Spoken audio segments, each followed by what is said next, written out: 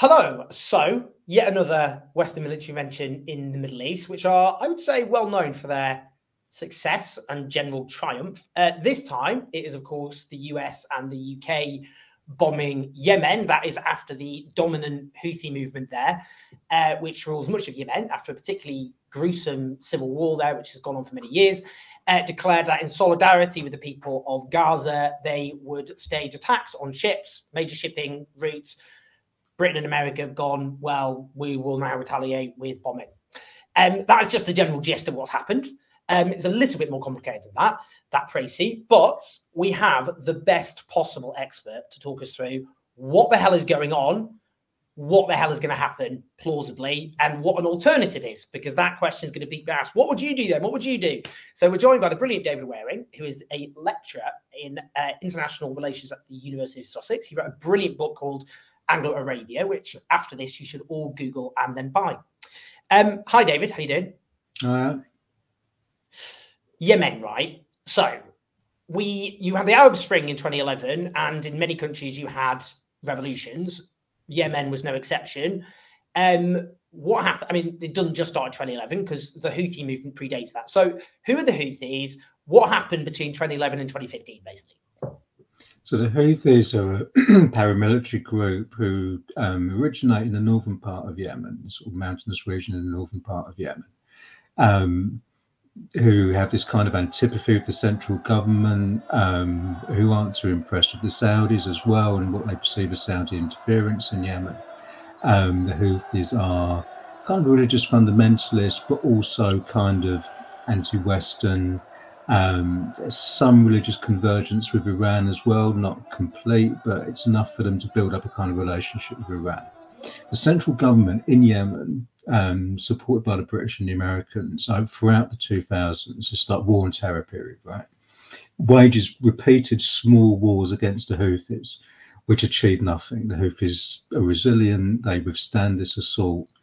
2011, as you mentioned, these Arab uprisings around the region, including in Yemen.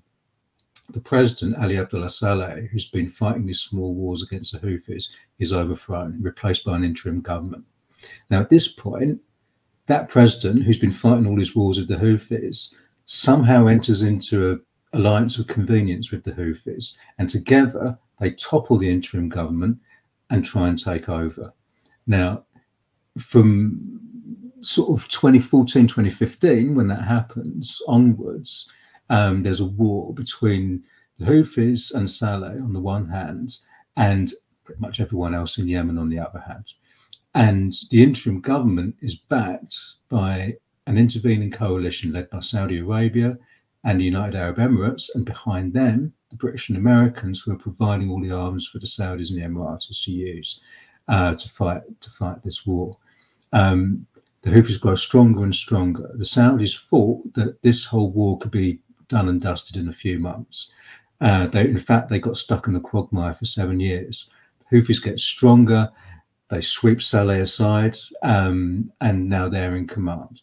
Where we are now, seven years on, seven or eight years on from that war starting, is that the Houthis have gone from a small paramilitary force in the northern part of Yemen to being effectively a parastate, um, controlling the most populous part of Yemen, uh, the north and west, and controlling this bit of coastline, crucially, uh, next to the Red Sea, past which 15 to 20% of global shipping uh, flows. So that that's a long period of, various people bombing the Houthis. Um, that's not new from the Houthis' point of view, and it hasn't made them weaker. Put it that way, um, and that takes us to where we are today. So it's interesting this because a, a, lot of people Yemen has not been on the radar. Something I've written about over the over the years. I've been to a Yemeni refugee camp, uh, met children who've gone through terrible traumas, uh, drawing pictures of not of you know cats and animals, but or kids on swings, but rather of dead bodies in the streets with blood. Really horrible. I'm just wondering. I mean, a lot of people think, well, this is a new intervention. You know, this is Britain and America. They're bombing it. But the, the point is that actually the Saudi led coalition has been armed and backed, not just armed and backed by the US and Britain, but we're more involved than that, aren't we? Oh yeah, I mean this war between 2015 and 2022, um, which is kind of on a period of unofficial truce now and going through negotiations, but which ran with sort of full blown war for seven years. This was one of the worst wars on the face of the planet for a long time, um, and Britain and America were right in the thick of it in the sense that it wasn't them doing the fighting; it was, as I mentioned, the Saudi-led coalition. Um, largely through airstrikes, Saudi airstrikes, supporting forces on the ground, and also a blockade um, on the Houthi controlled parts of Yemen. So indiscriminate bombing and a blockade of the area in which your enemies are located, which obviously will sound familiar to people who've been following the war in Gaza. It's basically the same kind of collective punishment, an attempt to terrorize and coerce and punish the population to get them to turn against the rebel group. Um, it's a kind of form of state terrorism, basically, and you can see this kind of form of violence going right back. Well, the British and the Americans were actively facilitating this. It wasn't just a question of, you know, the, the arms that the Saudis and the Emiratis were using were arms that had been sold to them in a dim and distant past and now happen to be being used in Yemen. It was a Britain and America providing an ongoing supply of bombs, missiles, spare parts, and components maintenance of these jets, um, training of the pilots. The British and the Americans facilitated this aerial bombing campaign. The Americans were providing mid-air refueling for the jets when the jets were on their, you know, bombing runs, these indiscriminate bombing runs. And so Britain and America really were accessories to mass murder, to put it in sort of, you know, basic colloquial terms. throughout this period, they facilitated this whole thing, just as they're facilitating what's happening in in Gaza at the moment. Um, and so, you know, the antipathy that the Houthis have towards the British and the Americans isn't something that comes out of nowhere. It's it's it's rooted in it's rooted in that. And of course, I mean, this is a, a, a wider story, but just to note it, Britain was the colonial power in in Aden, in, in southern part of Yemen, for a long period of time, from the 1830s until the 1960s. And so people in Yemen have long, you know, they they have memories just as people in, just as we do in this country they're aware of that history, you know, and so that antipathy goes a long way back, and it's it's based on something. I mean, there's been a huge, terrible human consequence, hasn't there? The Saudi-led war in yeah. Yemen. Around 300,000, it's believed, have been killed, and 15,000 directly from Saudi-led airstrikes. And I make that point to make a pretty gruesome point that I've made previously, which is when we look at Gaza, and we're looking often at the moment at the death toll is the violent death tolls, people directly killed by weapons. But in war, most people don't die as a direct consequence of the violence; they die of other reasons, including the collapse of the medical um, and the healthcare system. And that has happened. Uh, that's that's been one of the big contributing factors, of course, to how many people have died in Yemen. Yeah. But you know, I mean, that scale of humanitarian uh, catastrophe is something which most people aren't aware of. But I mean, it is the consequence, isn't it, of a UK and US backed war. This isn't just a new thing that happened. This is just yet yeah. more violence, which the UK and US have been involved in. Yeah, I mean that humanitarian crisis, as you say, it's a really important point that you raised. The fact that you know, large amount of people will be killed by indiscriminate bombing, um, but the damage to healthcare, the damage to the economy, the undermining of people's ability to secure the means of survival is actually more dangerous. You know, I mean, there, there was a report from Save the Children. I think this was in 2017.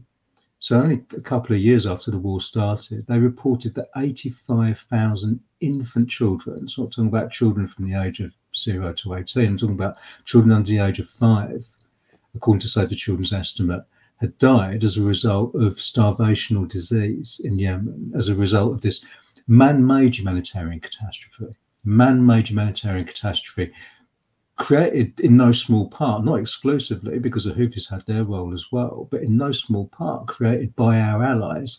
And I can't stress this enough, with our help, with our active assistance. And so, you know, I think people who are who are shocked and unsettled by what they see in Gaza now, I think it's really important to stress that this isn't something new and unique. I mean, Western violence often looks like this. You know, we could talk about a whole host of precedents in the colonial era and after that.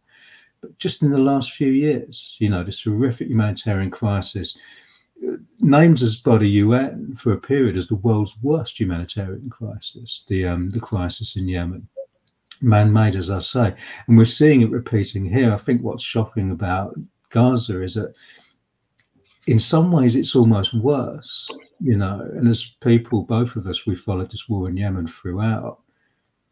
It's particularly shocking because I think I just, you know, Yemen struck me as a sort of catastrophe of biblical proportions, and yet we've got something that's happening in Gaza now, which somehow is even is even worse in terms of you know proportion of people affected in, in the territory, proportion of people killed. Well, that's the thing, um, isn't it? yeah. we, you know, because especially because lots of people have tried to play whataboutery um, with Yemen. People who did not care about Yemen before Gaza yeah. happened. Well, why don't yeah. you say anything about Yemen? Well, we have. We've been talking about Yemen for years, actually. Um, but the this isn't to belittle the horror of Yemen. Yemen has a much, much bigger population than Gaza. Its population is about mm. 33 million. The pre-war population of Yemen was about 2.2 million, mm. 2.3 million. In any case, so when we talk about the figures, the horrible figures in Yemen, it's over a much longer period of time. Yeah. There's a there's a much bigger population. Yeah. But what, what I was wondering is a lot, you know, one response I could just come up with is to go, well, does it really matter about UK and US bombing actually, mm. other than you know, the if there were civilian fatalities, that obviously that is a horrible thing which we need to condemn. But I mean, I mean in a crude, cold, calculating way, which is if if Britain is, and the US are already getting the Saudi-led coalition to do their dirty work, and that's failed, the Houthis are still there, thriving on their own terms after so many years. Does it really matter if the British and the US say, well, we're doing it directly now? Uh, we're not just it's not just the Saudi-led coalition doing it. We're now doing it directly in a sense, you could go, well, it doesn't really matter. It's just a PR stunt. But is it actually potentially a lot more serious than that? Yeah, it could be. I mean, look, the Saudis have been trying to get out of this for a while. You know, the war sort of ground to a halt in 2022. There's been an informal truce and there's been negotiations. Um, getting close to a kind of peace deal until this happened, you know, and what little I've been able to read in the past sort of 24 hours from reports from Yemenis on the ground is this kind of, wow, we lived through that and we thought we were getting to peace and now here we are again. Um, it, you know, it's worth saying that if you can't defeat the Houthis with 20 years of bombing by various different people, it's difficult to see how a few extra missiles last night is gonna is gonna change much. I don't see the Houthis being deterred particularly from from the disruption they were causing in the Red Sea. Um, and these these airstrikes, you know, they can, they can have an effect in the sense that you know it feeds this escalatory dynamic, right? I mean, the British and the Americans appear to seriously believe that they can deter the Houthis through, you know, a night of direct airstrikes on Yemen. It strikes me as incredibly unlikely. The Houthis look confident to me. They've come out of seven years of war stronger than ever. You know, they fought off a regional military power backed by the world's leading military powers. Um, they looked extremely, they looked extremely confident and ready for more. You know, they've been able to rally a lot of support to their side within Yemen, seemingly, certainly in the wider uh, Middle East. They've been able to present themselves as, you know, the one one of the few serious military forces that are pushing back against Israel. Um, I'm sure they welcome this. They certainly appear to welcome this, and the danger is for the for the region and for the world that they don't do what the British and the Americans do, which is take the hint and stop, but rather they carry on. They carry out another uh, air strike on shipping, maybe even on British and American shipping. And at that point, what do the British and the Americans do? Because the dangerous escalatory logic is that you take certain measures expecting your opponent to then back down, but your opponent doesn't back down. And then your credibility is at stake. You've invested your credibility in your apparent ability to to deter your enemy. When your enemy isn't deterred, you have to up the ante. And then they, from the same point of view, also up the ante. And then where are we? I mean, the big danger is now you have a regional conflagration which doesn't just disrupt shipping in the Red Sea, but ends up spreading to the Persian Gulf, which is the artery through which a huge proportion of the world's oil flows. And then you've got a huge inflationary shock. Put, put aside the carnage that we'll see in the Middle East beyond even what we're seeing now. For the rest of the world, you're going to have a huge inflationary shock. that's going to impact on politics in the West. If you're Joe Biden, um, not only are you losing support because from certain groups because of what you're doing in Gaza, but you're going to start losing support um, because of your, you know, you'll be blamed for your stewardship of the economy if inflation goes back up, and then you end up with Donald Trump in the White House. So the thing about these dynamics is their impacts can spread around the world in all these unpredictable ways. And the idea that chucking a few missiles at the problem is a prudent, sensible, serious approach is exactly wrong. What we need is de escalation in this moment, serious diplomacy to de escalate, because this is getting really out of hand now. It's really concerning. I'm um, just a couple of the questions. I mean, uh, also, firstly, about also what this is going to do in terms of Houthi support. I mean, we've seen a mm. huge rally in the Yemeni capital Sana'a of about a million people. Um, that's huge. I mean, as I said, the population is about 32.3 million. I mean, admittedly, not the entire population is ruled by the Houthis, but as you said, the bulk. Um, so it's a huge number of people. I mean, I don't know. Some might say, well, you know, it's an authoritarian movement, and how do they mobilize people? I don't know. But what's your um, thoughts on what that means? And also, because often there's this presentation of the Houthis as they're just basically an Iranian proxy, and they are backed by Iran. Hmm. They are they have their weapons provided by Iran, that kind of thing. But they they do have their own base clearly in Yemen. That is authentic. So will this just basically for the Houthis? it will help mobilize them and present themselves as we are. You know, while most of the Arab states are just standing by while Gaza is being slaughtered, whatever the actual reality of what the Houthis are actually doing, but that's how they'll present themselves, won't they? And that's how they'll build yeah. support. Yeah, yeah, yeah. As I say, just this this strengthens them. This is what they're looking for. Um, you know, I, I won't pretend that de-escalating this is going to be easy. You know, um, it will be hard and it will involve diplomacy. And the, the tricky thing is, as you rightly say, the Houthis are not just puppets or proxies of Iran. You know, that's a the simplistic way that a lot of mainstream coverage looks at these things in the Middle East. This, you know, this actor as a proxy of Iran, that actor as a proxy of Iran. Well, that's yeah, yeah, yeah, exactly. That that kind of, you know, and, and it can boil things down, you know, to to to, to a really simplistic degree the Houthis do have a really productive, from their point of view, um, relationship with Iran. They've really, which they've really benefited from. But they also have, as you've indicated, their own interest, their own agency. Apparently, in 2015, the, the Iranians didn't want the Houthis to go down and seize the capital. They they argued against that, but the Houthis did it anyway. So it gives you a sense of the degree of independence they have. But nevertheless, if there's going to be de-escalatory diplomacy. And I really hope the Americans cotton on to the fact that they've got nowhere else to go with their current approach and they're going to have to do something else. If there really is de-escalatory diplomacy, which has to include Iran, then it's not going to be a case of, well, we'll just do a deal with the Iranians formally or informally, and then the Iranians will yank the Houthis chain and that will be it.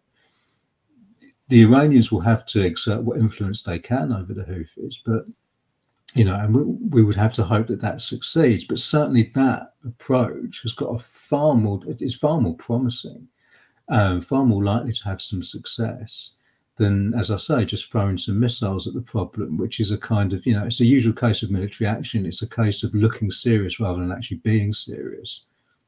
Yeah, I mean, on that, because the question is always thrown at us is, well, what would you do then? And at this point, I find that quite insulting because they said that about Afghanistan and look what happened. They said that about Iraq, and look what happened. They said that about Libya, look what happened. I think at this point, I'd have some mm. introspection if I were these people, and yet they walk from crime scene to crime scene, splattered with more and more blood, still presented as learned elder statesmen who we should all listen to on their wisdom of foreign policy, while we're the crazy extremists who were proven wrong in the worst possible way over and over again. But they'll still say it. What would you do? And the point they would make here is look, whatever you think about how we got here, these are the shipping lanes. The global economy does depend on it. We have to take action. That's just the way the world works. We our, our local populations would expect us to when they suddenly see price rising, they work out why, and it's because mm-hmm. we take action. So I suppose the argument then to these people, I mean, the the obvious answer would be if you stop stopped enabling a massacre in Gaza, whatever the Houthis' intentions happen to be here, yeah, clearly. But I mean, just in terms of how we get out of this, because that is the Houthi demand. Yeah. And, and, and and you know, again, just on that, you know, I think a lot of the world, because there's such a West centric view of looking at this, a lot of the world is looking at the West at the moment, and a lot of them did not have illusions in Western moral authority in the first place for good reason. Um, but now they're seeing, for most of the West of the world, they they say, "Oh, I see." So the West will take shipping lanes seriously, but not living human beings seriously. They'll intervene to stop save the shipping lanes. They won't intervene to save Palestinian citizens. So I'm just wondering about what you think about, you know, that that alter, you know, in terms of the alternatives and why it's shouted down and what we do instead. Yeah, yeah. I mean, before I was talking to you, I had an interview on Times Radio with um, Ruth Davidson. Lucky you. Yeah, that was great. Um, and you know, she was giving me that line, which was, you know, you have to do something, don't you? And you do have to do something. You have to do something that works, you know. Um, and as I say, you know, just throwing more missiles at the problem doesn't work. You know, that, that proposition has been tested. You know, not that I don't necessarily want to analyze this purely from the West point of view and what works for the West, but you know, in, I think you know people at home watching this are going to be in their arguments with family and friends and colleagues and what have you are going to hear, well, what would you do? And the the answer to that is, you know, if we're thinking about what's happening in in, in the Red Sea and how inflation is going to affect all of us, you know, I I don't want more inflation any more than anyone else. It's like it's painful for all of us. This stuff. The best way to get past that is to de-escalate the conflict through diplomacy. Gaza is, is at the heart of this. I think an increasing number of people understand that there has to be a ceasefire in Gaza. Um, pure, you know, above all because of the, the, horrible effect on the Palestinians, above all because we're, you know, we're watching the world's first live streamed genocide. And in addition to that, because it's dragging the whole region into what could be a truly awful conflict. And in addition to that, because it's dragging the world into a crisis which, um, you know, will impact on the global economy, seriously and which could in turn have loads of knock-on effects in American politics, for example, which, you know, we none of us in the world want need a fascist in the White House, but that's the way it's going in part because of because of this. And cannot stress enough, again, you know, we've seen Western military action time and time again not have, not not reach the goals that the perpetrators set themselves. It's not only that it's criminal, these various interventions in Iraq and Afghanistan, and you know the backing of the Saudis in Yemen, the backing of Israel in Gaza. It, it's the worst thing is that it's criminal, but it's also true that you know they don't even get the results they're looking for. Yeah. You know when have they won? When when have they won on their own terms? You know, so all these things are important to, to, to, bear in mind. If we want this Red Sea crisis to stop, and if we want to avoid the return of really high inflation, then we need to push for we need to push for diplomacy, and above all, that means a ceasefire in Gaza, not just for the you know above all for the for, for the sake of the people in Gaza, but for the rest of us as well, because this is getting worse and worse. Which is why I think reframing this is we said that the onslaught against Gaza would lead to a human catastrophe. It has. And we also said it risked a major regional escalation. It has. And the answer to that isn't to go, well, we'll just up the ante with the regional escalation.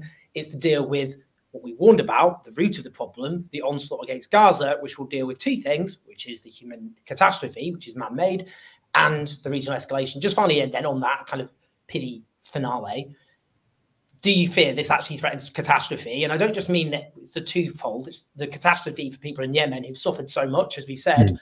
and the catastrophe for the world unless there is a major de escalation. Yeah, yeah, I, I do. And,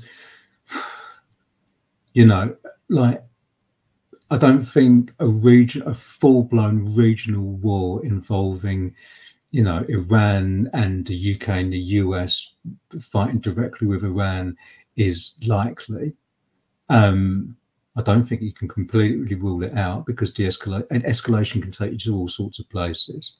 Um, but you know, some risks they don't have to be probable for you to take them really seriously. You know, it may be a, something that's not so likely, but would be so absolutely catastrophic if it happened that you have to take it very seriously.